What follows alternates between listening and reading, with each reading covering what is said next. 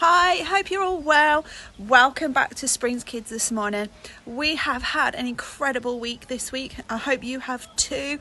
Uh, We've been on a prayer walk. Some of our kids were with us, and that was amazing. Um, if you don't know what a prayer walk is, it's when we walk around Gornal and we prayed for our local area. We prayed for you and your return to school. I hope this week has been a fantastic week, that you've had a wonderful time meeting your new teachers and you have just enjoyed the return to normality a bit of school a bit of home learning even maybe i don't know let us know how your week at school has been Welcome to Fun Zone. So this week, Edie has come up with the game, and all it is, Edie, are you going to explain?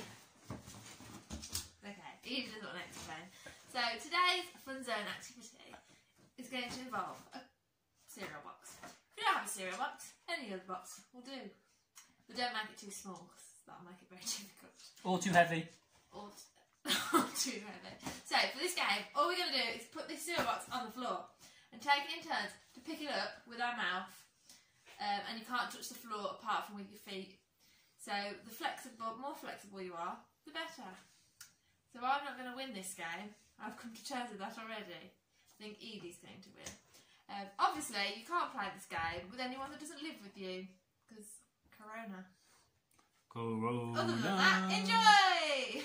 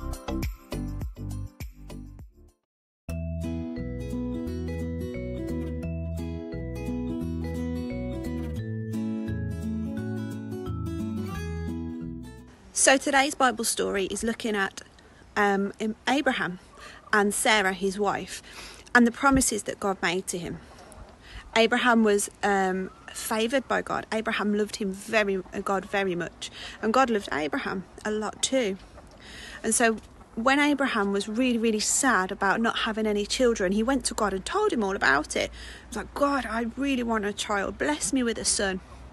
And, you, and Abraham was really, really old. He was too old to be having children. But God said to Abraham that he would have a son. God promised him.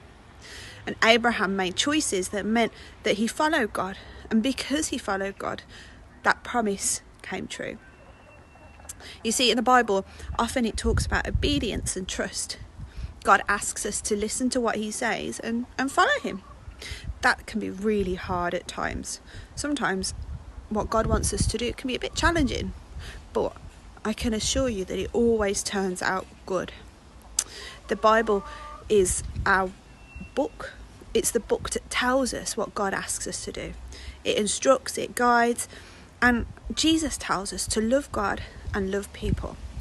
So today, before you go back to school next week, I want you to think how you can trust God.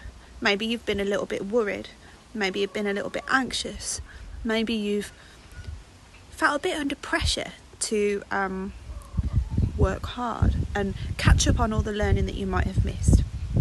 But the Bible promises us that God is with us. And if God promises it, it's sure to happen.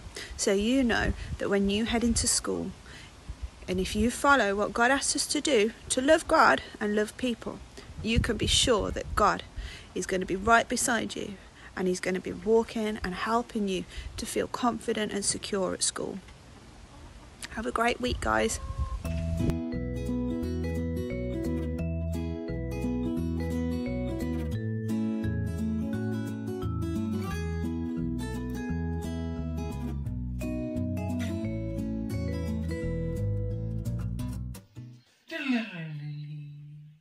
Welcome to Huddle Time. So, this week's Huddle Time, we will be delving into an exercise around trust, listening, and obedience. So, what you have to do, my friends, what you have to do is ensure you fill up as many tubs as you can of water. Whatever containers, I used plastic bottles, plastic cups, I used saucepans, I used, what are the bowls things called? Plastic bowls. I used little plastic plates, which I wasn't afraid to step on. I also used lots and lots of Tupperware things. They're just called Tupperware. Maybe they are. Fill as many as you can with water. I recommend go as mad as you can.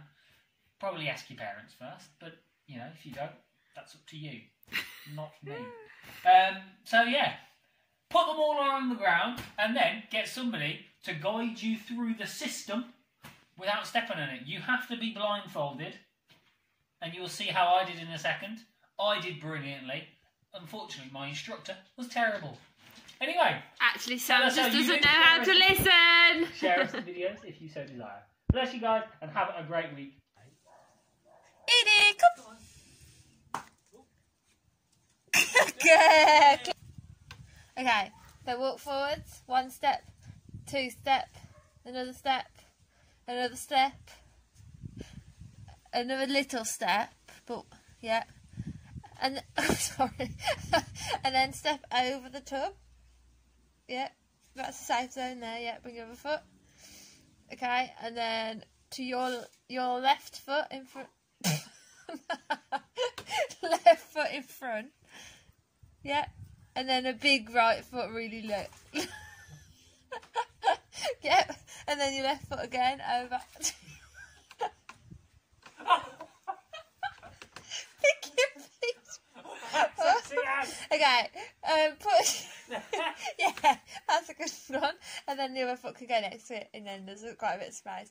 A little shift forwards, and then to your left, all the way across. Yep. Oh. Move your all your feet right to yeah. All right, go on, just walk then. Yeah, yeah, safe. Yeah, that's fine. Okay, and then a big leap, but there's a lot of pots. Yep, well done. Yeah, and then another step over.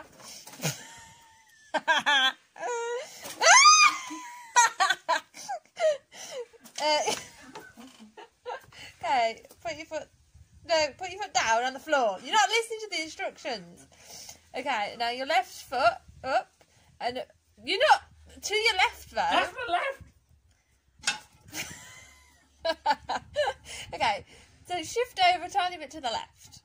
Yeah, and then a big left foot up, over,